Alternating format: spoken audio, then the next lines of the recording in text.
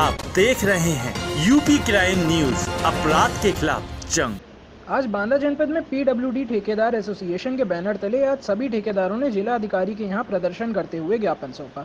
ठेकेदारों के अध्यक्ष अभिमन्यु सिंह ने बताया कि आज हम यहाँ अपने एक ठेकेदार भाई अवधेश श्रीवास्तव द्वारा अधिकारियों से तंग आकर आत्महत्या कर लिए हैं, जिसके चलते हम लोग यहाँ ज्ञापन देने हुए आए हैं।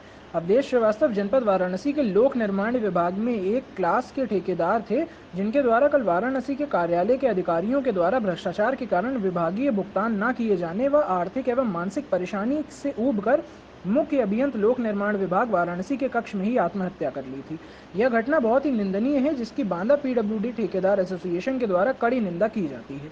एवं मुख्यमंत्री उत्तर प्रदेश सरकार ने ये अपील कर रहे हैं कि ठेकेदारों के उत्पीड़न में सम्मिलित विभागीय उच्च स्तर के अधिकारियों से लेकर निचले स्तर के अधिकारियों के ऊपर कठोर कानूनी कार्रवाई की जाए और मृतक अवधेश श्रीवास्तव का बकाया पाँच करोड़ भुगतान कराया जाए। और हम यह भी चाहते हैं कि उक्त ठेकेदार के परिवार को एक करोड़ की आर्थिक सहायता दी जाए। इन्हीं सारी मांगों को लेकर आज हम जिला अधिकारी के पास आए थे। हमारे एक भाई ने ठेकेदारी एक क्लास का ठेकेदार था।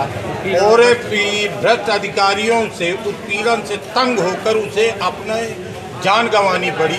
उसका समय से भुगतान नहीं हुआ उसकी बात नहीं सुनी गई। उसी के सापेक्ष हम लोग विरोध दे दे रहे हैं और साथ में ज्ञापन दे रहे हैं। उस अधिक अधिकारियों के खिलाफ कार्यवाही हो साथ में हमारे उस ठेकेदार के परिवार के साथ न्याय हो सके जिसको अपनी जान गंवानी पड़ी। अच्छा जो ठेकेदार के माध्यम से जो जानकारी हुई है उसमें पीडब्ल्यूडी विभाग के ठेकेदार हैं। हम लोग भी पीडब्ल्यूडी विभाग के ठेकेदार हैं एक लाख के कॉन्ट्रेक्टर हैं। उन्होंने बार बार अनुरोध किया और उन्होंने अपनी सोसाइट नोट अपनी गाड़ी में छोड़ी हुई है। आप समाचार पत्रों के माध्यम से ये जानकारी हुई है। और निश्चित रूप से अगर उनकी बात सुनी जाती तो शायद ये घटना नहीं होती। आपका नाम क्या है? मेरा नाम अभिमन्यु सिंह है। बांदा से संवाददाता विष्णु सिंह की रिपोर्ट यूपी क्राइम न्यूज़।